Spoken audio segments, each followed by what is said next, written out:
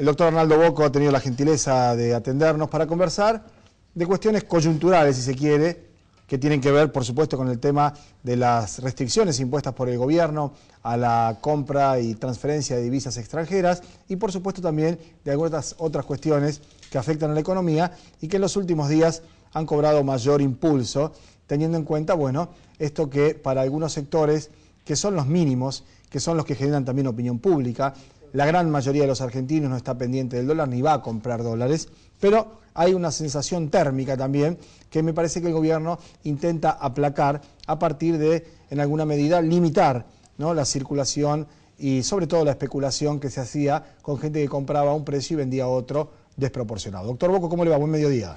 ¿Qué tal? ¿Cómo está usted? Mucho escucharlos. ¿eh? Igualmente para mí. Bueno, eh, yo he escuchado y he leído algunos de sus comentarios en torno a lo que le da la sensación a usted es una medida eh, importante, positiva en términos de aplicación para evitar fuga de capitales, por un lado, y por otro lado, una suerte de desmande de la moneda norteamericana, ¿no? Sí, yo lo que en realidad quisiera precisarle, eh, visto la importante pregunta que hace, es lo siguiente.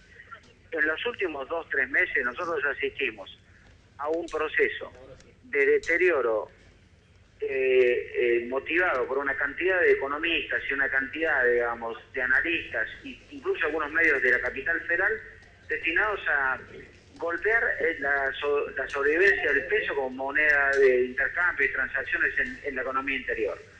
En una economía que tiene tendencias en la crisis a dolarizar sus carteras. Lo que dije es, señores, estamos llevando un corrimiento hacia el dólar, que es una manera en la cual supuestamente algunos ahorristas se protegen. Yo tengo mi crítica a eso porque para mí el dólar no es una moneda, dejó de serlo hace bastante tiempo, hoy es una mercancía que la emite Estados Unidos la cantidad que quiere, la usa como quiere, genera la inflación internacional que quiere, licúa su deuda como quiere, cosa que el resto de los países no, no, no toma con la jerarquía que la Argentina toma esa moneda. Entonces, visto la masificación, donde de pronto una gran cantidad de empleados cobran los sueldos y los convierten en dólares, supuestamente porque mañana va a haber una devaluación, no hay ni razones económicas, financieras, fiscales, cambiarias, comerciales, ni de exportaciones e importaciones, ni de movimientos que ameriten semejante nivel de problemas. Lo que apoyé fue la medida del gobierno de disciplinar a los agentes económicos. Si mañana usted tiene un terremoto en un determinado lugar, lo que hace es cerrar el aeropuerto, porque no va a permitir usted que cuando caen las cenizas o, hay una implosión de un volcán, eh, eh, deteriore la calidad de los patrimonios y la vida de las personas que están llegando a ese aeropuerto. Lo que hizo el gobierno fue decir, bueno, miren, acá había normas de Banco Central y normas de la que ahora se van a aplicar de esta manera. Y lo que hizo fue precisar, si usted quiere, la letra chica del contrato sin cambiar el espíritu del contrato, diciendo, los controles tributarios se van a hacer anticipados y los controles cambiarios son los mismos que decían hasta, anteriormente. ¿Impiden comprar dólares? No. Lo que obligan es a exteriorizar el patrimonio y los ingresos de las personas para saber si la cantidad de dólares que se compran, dado el aprovechamiento que se hizo no solo del mercado en blanco de dólares, sino del mercado negro y el mercado que los cambistas y los operadores llaman azul, en donde una gran cantidad de gente compraba en un mercado el barato y vendía en el caro. Y traía recursos del exterior, comprando pesos eh, en el mercado caro y los terminaba vendiendo en el mercado barato. Se hacía una diferencia del 8 o 9%. Claro, ahora, doctor, eso se ha limitado con el tema de los coleros y algunas compras de menor eh, entidad. Es más, más allá de... No, no, no, se, ha evitado con mucha gente. Para no pagar impuestos eh, se inscribe en la FIP como monotributista y declara un ingreso de 4 o 6 mil pesos por mes, y después se acerca a un banco y compra 50 mil dólares. Entonces, mire, si usted va a Estados Unidos a comprar mil euros o 1.500 euros... Sí, sí, tiene que mostrar el documento y explicar. Sí, sí, está claro. No, Ahora... no, no, no, no, en Estados Unidos tiene que ser una declaración jurada y si usted la viola va preso. Claro.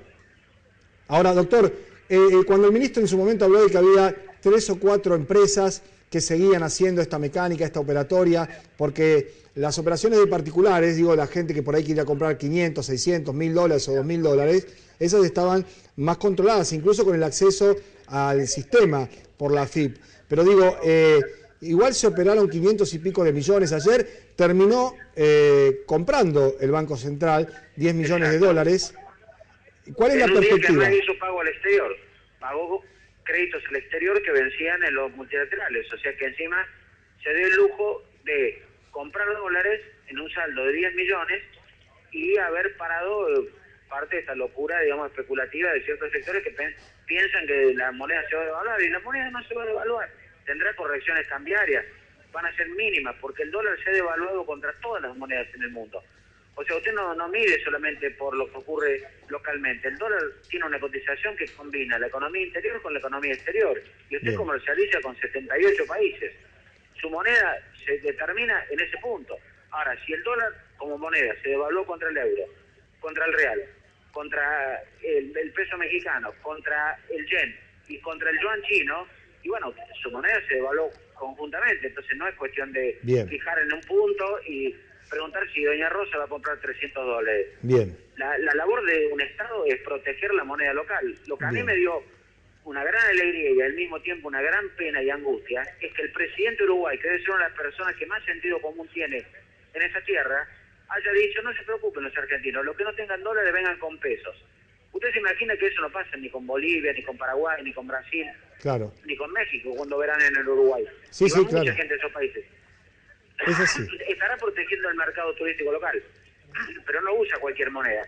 Claro, o dólar o peso. Si el argentino se, desprende la moneda y Uruguay toma su moneda, quiere decir que alguien está, no está en su juicio. Bien. Créame que no es, no es, no es Mujica que está... No, no, no, está, claro, está claro. Doctor, eh, lo escuché relatar una anécdota muy interesante de cómo hizo China en su momento para limitar y evitar la fuga de divisas, ¿no? Que es uno de los temas...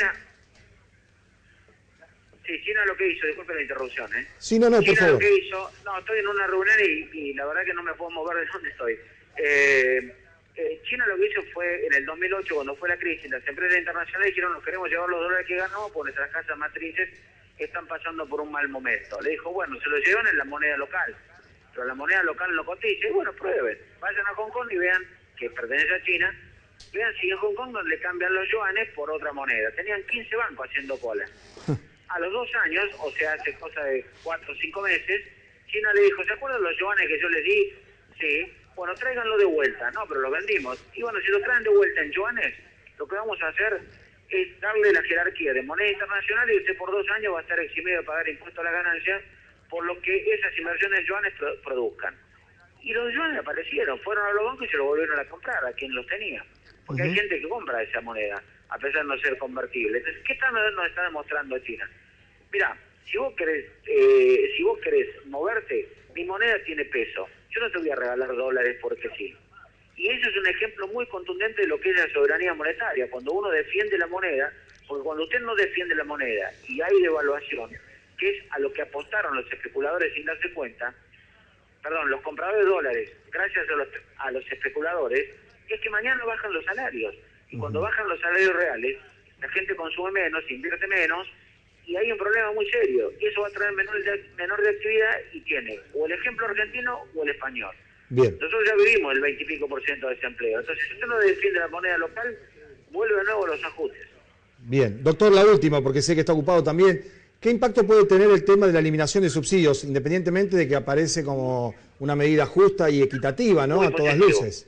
Muy positivo, porque para mí es un comienzo, una serie de medidas que la presidenta va a empezar a aplicar antes y después del 10 de diciembre que van en un sentido correcto, que es desarmar una serie de transferencias de ingresos a sectores de alto poder adquisitivo que hoy ya están en condiciones de hacerse, hacerse cargo de afrontarlos sin ninguna clase de subsidio por parte del Estado. hay que revisarlos, sí. hay que revisarlo, hay que revisar el subsidio al transporte, no puede ser que un rosarino, un cordobés, un salteño pague dos pesos por un por un eh, trayecto que es el 20% de lo que un porteño paga 1.10, 1.20, 1.30. Claro. Bien, eh, ¿puede ser eso en la serie de medidas, digo, como proyección, ¿no? Que incluya una reforma impositiva? Yo no descarto ninguna de las medidas. Es muy probable que se eliminen los subsidios y haya otras medidas equivalentes a proteger el equilibrio fiscal y el equilibrio comercial. Tengo mucha confianza porque hay 75-80% de la población que, votando a la presidenta Cristina Kirchner, votando a Wiener, votando a otros candidatos, expresó la adhesión a un modo de vida distinto del que teníamos eh, antes, eh, con ajuste tras ajuste. Bien, ha sido muy amable, Boco, ¿eh? No, al contrario, le mando un abrazo grande. Muchísimas gracias, Arnaldo Boco, ex. Hasta luego. Arnaldo Boco, ex presidente del Banco Central de la República Argentina, economista, de los que eran cuestionados, incluso hasta, diría yo, silenciados u obviados por los grandes medios en los eh, años en los que se denunciaba el desguace del Estado, la enajenación del patrimonio nacional, las políticas regresivas y que ahora evidentemente está en uno de los momentos, diría yo, más importantes a la hora de escuchar su palabra y su opinión, porque todo aquello que decía entonces se fue cumpliendo y entonces también valdrá la pena ver de qué manera sigue esto para adelante. ¿no? Habló de una serie de medidas que se van a tomar en el gobierno, no está dentro del gobierno trabajando Boco, pero sí tiene este, una coincidencia, por lo menos en cuanto al modelo y a su desarrollo, eh, y entre las cosas que tampoco se descarta está esto que decíamos antes de la reforma impositiva. Hacemos una pausa, cuando volvamos de la pausa hablamos un poquito de fútbol, está aquí Gabriel Penice.